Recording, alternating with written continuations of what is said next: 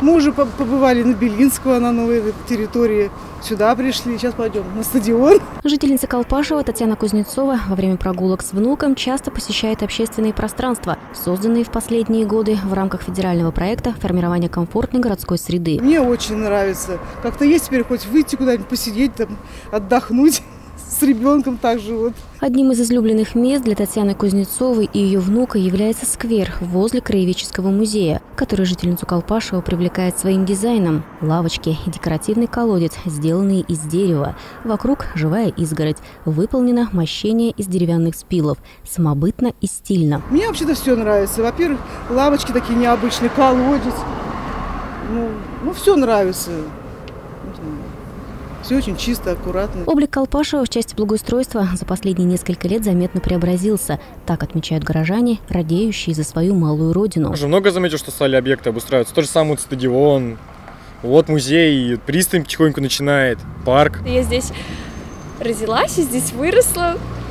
И очень интересно просто наблюдать, как ты растешь просто вместе с городом, когда ты растешь, и вместе с тобой там вот, допустим, музей строится, парк новый. Все, ну то есть город преображается. Город преобразился, комфортнее стало, приятнее выйти хоть погулять по улицам, полюбоваться на красивые места.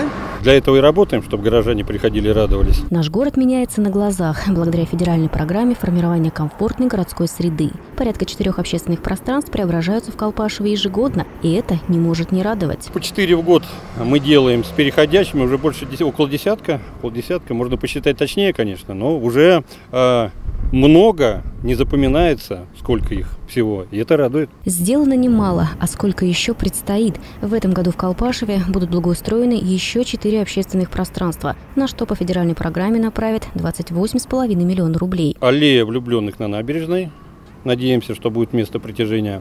А, заканчиваем Белинского, то есть то место, где мы находимся. А, следующий этап площадь Кирова 28. Там у нас Корчевка Тополей, чтобы дальше заниматься благоустройством в последующие годы. Ну и главный объект по деньгам, больше 12 миллионов рублей, это благоустройство тротуара на улице Белинского а, между, соответственно, улицами Кирова и Ленина. То есть наше центральное лобное проходное место. Ну, он давно уже нуждался в ремонте. А мы пытались, а, скажем так, этот объект а, запустить по разным программам, не удавалось. Вот результат сделаем в этом году. В рамках работ на четырех объектах в этом 2021 году уже заключено 7 муниципальных контрактов, и, по сути, подрядчики приступили к их выполнению. Начавшееся в прошлом году благоустройство аллеи на улице Белинского в рамках федерального проекта нынче будет продолжено. В аллее приступили к посадке деревьев и кустарников.